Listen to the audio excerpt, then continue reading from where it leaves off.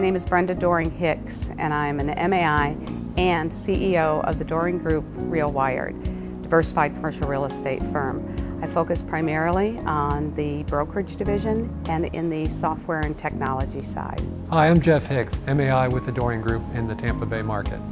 Our goal is to help appraisers be successful and expand their business. First and foremost, it's important for appraisers to recognize the importance of working on their business, not just in their business. Appraisers are really smart researchers and analysts. But market forces are requiring them to now become even better business people.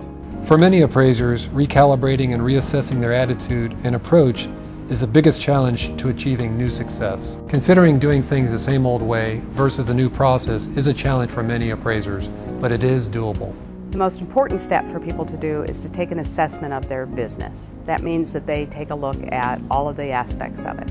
Workload, fees, staffing, operations, profitability, the company's market value, and other factors need to be taken into consideration.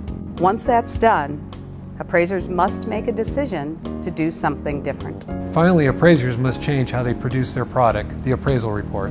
They can do that by adopting systems and technology that offer the best opportunity to increase profits and have a successful career. New processes we like to help people learn by doing something we call SPIAT. It stands for Sustainable Process Improvement Over Time. This essentially means making sure your appraisal business continues incremental change towards creating even better processes. And we cannot stress enough the importance of metrics. You must measure everything you do in order to understand what's successful and where you can make improvements. Anyone wanting more information can go to the Appraisal Institute website. You can also find out additional information from our website.